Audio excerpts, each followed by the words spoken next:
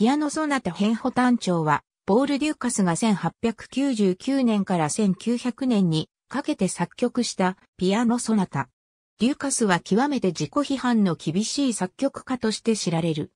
音楽に真摯に向き合い熟考を重ねた結果、1890年代には、序曲、ポルークと、公共曲派長長、公共詩、魔法使いの弟子のわずか3曲しか完成されなかった。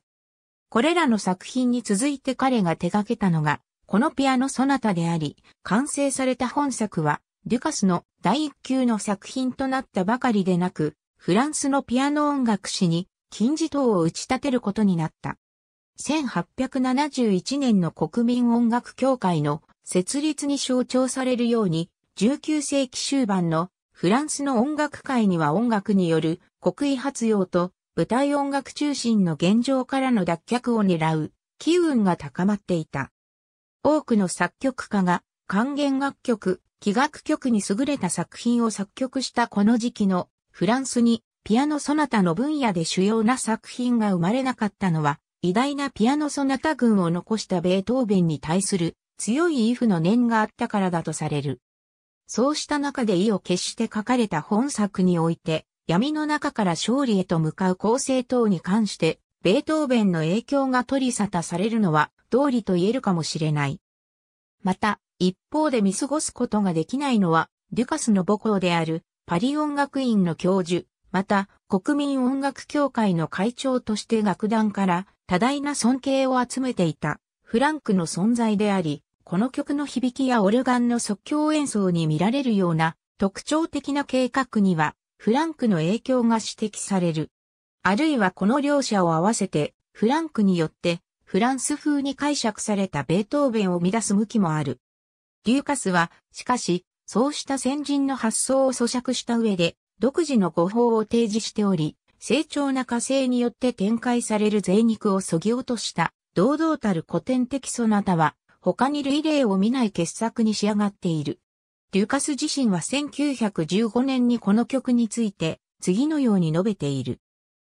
私が音楽に込めようとした内なる銃声に対する勝利ともう一つの偉大な勝利、すなわち地平のあらゆる方向から現れて我々が外なる銃声、その非常に現実的でほとんど醜いもの、そして当時は知る由もなかったものを踏みつけ打倒する、助けとなる勝利、この二つの間の類似性である。これらが象徴的な類縁性を有するに過ぎないと思うかもしれないが、それは唯一音楽家だけが理解できるものであるここに書かれていることはそういうことなのだ。初演は1901年5月10日、サルプレーエルにおいて、エドワール・リスレのピアノによって行われた。初演は大きな成功を収め、作曲者の友人であったドビュッシーも曲を称賛するコメントを寄せている。曲は1906年に出版され、サンサーンスへと検定されている。この曲は批評家のエドワード・ロックスピーサーが述べるように、長大かついささか難解であるため、これまで主要レパートリーとはなってこなかった。しかし、近年では、マルカンドレ・アムランやマーガレット・フィンガーハットなどのピアニストによって取り上げられている。45から47分4つの楽章から構成される。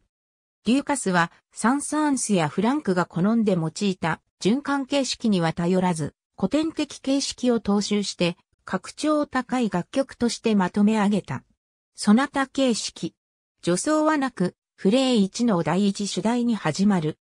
フレー1フレー1が4度上で確保されると、直ちに変波長調の第二主題の定時へと移行する。第二主題はまず右手の分散和音の下に、左手で操され、続いて、左右の役割を交代して大きく盛り上がる。フレー2展開部では、フレー1の伴奏音形が回帰すると少しずつ速度を戻し、第1主題の音形の合間に、第2主題が挿入される形で進行する。伴奏音形が3連符へ移ると、もっぱら第1主題が展開され、続いて、調合を、補単調へ変更するとともに速度を上げて、両主題が組み合わされて、ピアノの技巧を誇示しつつ展開される。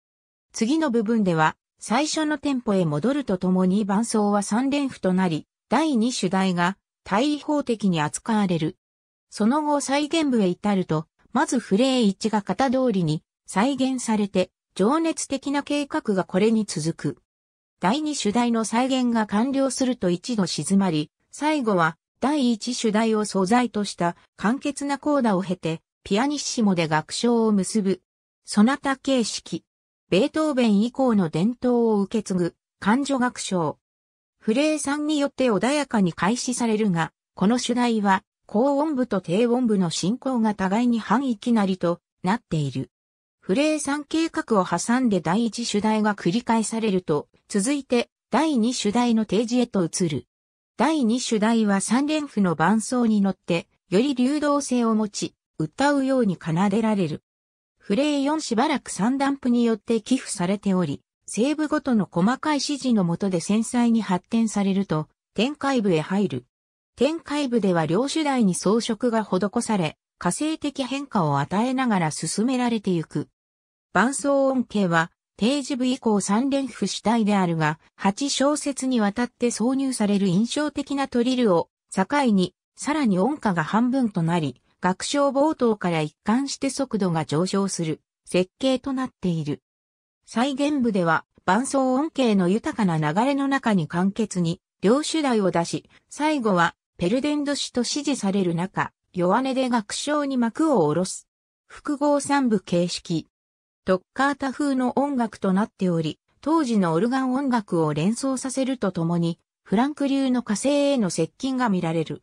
冒頭より、両手で交互に打ち鳴らす猛烈な楽奏で始まる。フレーご飛び跳ねるようなフレー6のエピソードが挿入されるが、間もなくフレー5が再び現れる。フレー6次第に落ち着くとトリオに入る。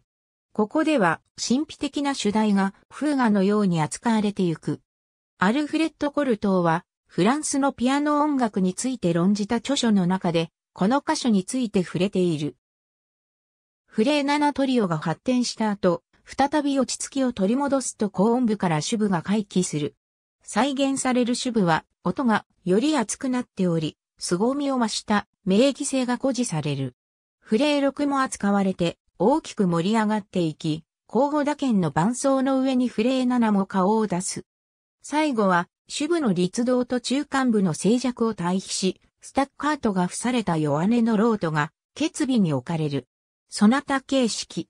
デュカスはこの楽章で、第一楽章の素材を振り返っている。重々しい和音と幻想的なアルペジオが交代する導入部に始まる。一部、小説線が取り払われており、即興的な筆致で描かれている。規模の大きな助走が終わると力を秘めた第一主題の提示に移る。